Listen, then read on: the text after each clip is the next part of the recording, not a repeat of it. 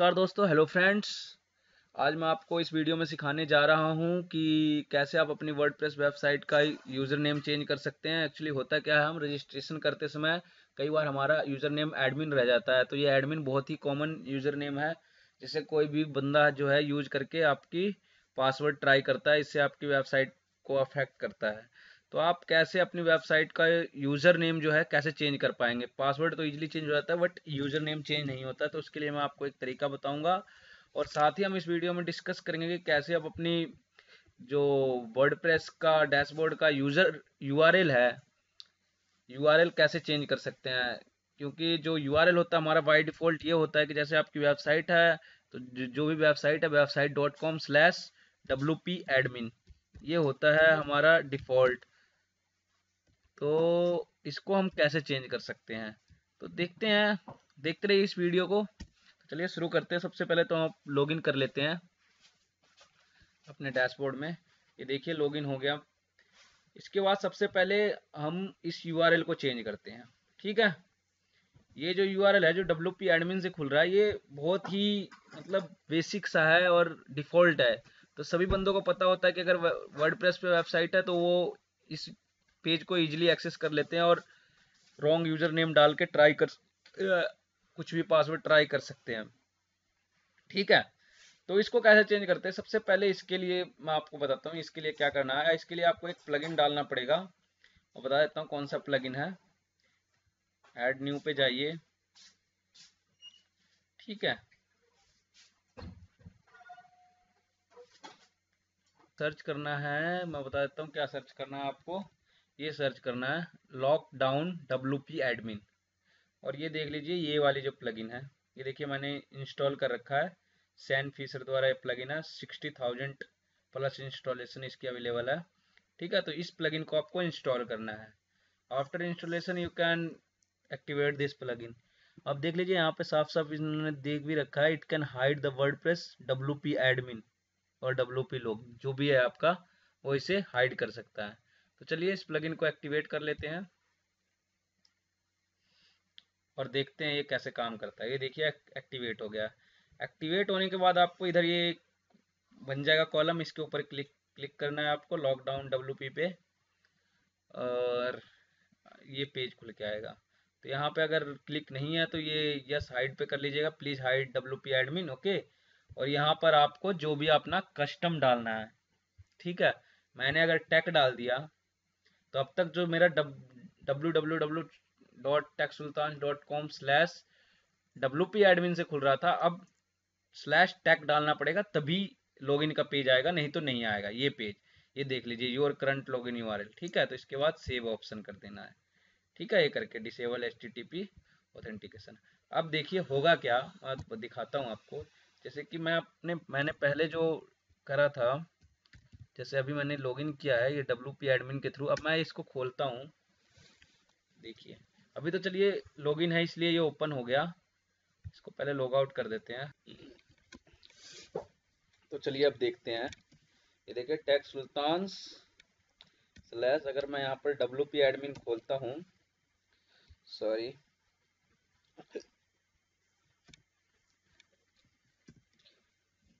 तो ये देखिए पेज नॉट फाउंड बट जो हमने ये टैग डाला था, अब इस यूआरएल से खोल के देखते हैं। यहाँ पे हम टैग लगाते हैं। तो ये देखिए लॉगिन पेज आ गया हमारा। तो इसी की बात कर रहा था मैं, इसको आप कैसे ब्लॉक कर सकते हैं? मतलब आप अपना कस्टम यूआरएल कैसे ऐड कर सकते हैं? इससे होगा क्या कि किसी भी थर्ड पर्सन को पता ही नहीं होगा कि आपका एक्चुअली लॉगिन यूआरएल है क्या।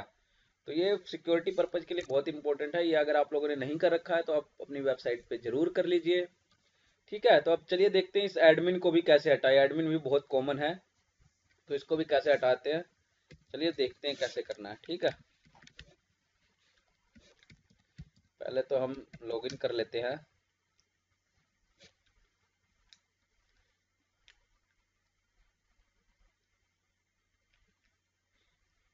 ये आ गया हमारे डैशबोर्ड में, उसके बाद हम यूज़र्स पे चलते हैं। ठीक है इसको एडिट पे क्लिक करते हैं। तो यहाँ पे देखिए username can not be change ठीक है? तो इसको कैसे चेंज कर सकते हैं, मैं आपको बताता हूँ। यहाँ पर आना है आपको पहले, और यहाँ पर ऐड न्यू करना है एक। ठीक है, आपको जो भी यूज़र नेम डालना है, ठीक है? अब वेबसाइट का नाम ना भी लिखे तो कोई, जो भी आपका मन करता है, वो डाल सकते हैं। कोई वो नहीं है। नेम वगैरह डालना है, डालिए, नहीं तो मत डालिए, कोई दिक्कत नहीं है। पासवर्ड जनरेट कर लेते हैं। ठीक है। और उसके बाद इसको एज एडमिनिस्ट्रेटर बना देते हैं। ठीक है। तो न्यू यूज़र ऐड हो गया। अब हम इस एडमिन को लॉग आउट करते हैं। ठीक है जी।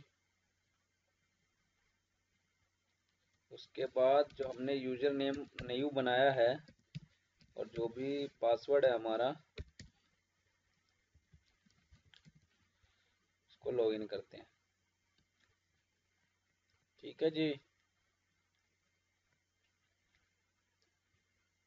ये देखिए लॉगिन हो गया। फिर से ऑल यूज़र में चलते हैं, और इस एडमिन को हम डिलीट कर देते हैं। इसको डिलीट करने के लिए देखिए क्या करना पड़ेगा आपको? डिलीट ऑल कंटेंट ठीक है जी।